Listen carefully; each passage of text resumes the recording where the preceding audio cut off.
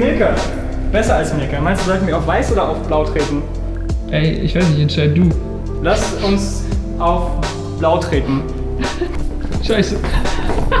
Sag mal, Horst, bist du eigentlich zufällig auf das Weiße getreten? Nein. Und was ist denn das hier, Horst? Kannst du mir das erklären? Ich weiß nicht, was du mir hier versuchst, in die Schuhe zu schieben.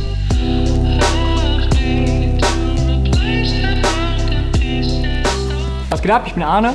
Ich bin Horst, was geht ab? Wir sind wieder auf der Wupperwerk Studios Baustelle und ähm, wir haben hier so ein kleines Suchbild für euch vorbereitet.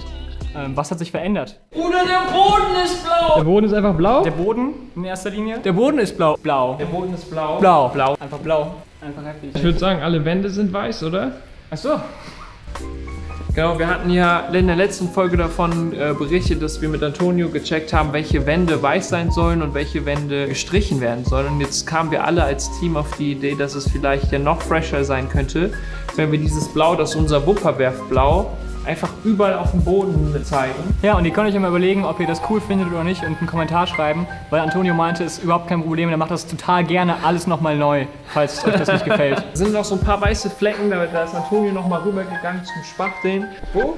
Ja, da, ist Da- weiß. Da darf ich nicht hintreten. Ah, okay.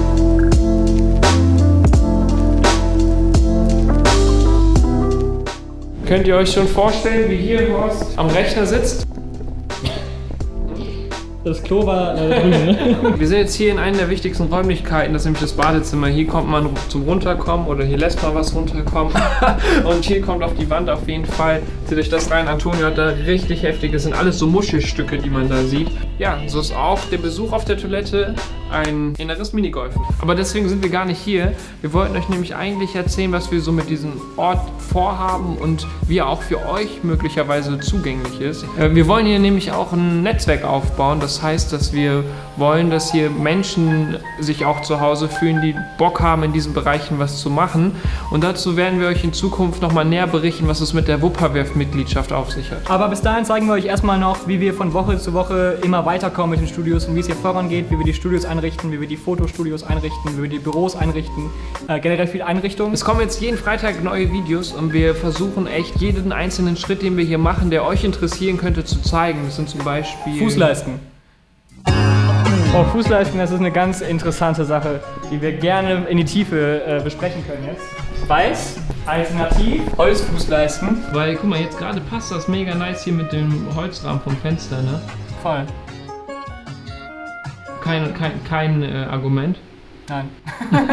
Wir wissen, was wir alles für Folgen drehen wollen, aber wenn ihr einfach unten in die Kommentare schreibt, welches Thema ihr am interessantesten findet, würden wir checken, dass wir auch dieses Thema als erstes angehen würden. Also sage ich, ich weiß nicht, was Arne Nein, dazu ich würde nur machen, was ich machen will. Danke fürs Zuschauen. Nächsten Freitag kommt die nächste Folge und wir sind zusammen auf dem Weg. Heute 100 Abonnenten, in einem Jahr 150. Wir sehen uns.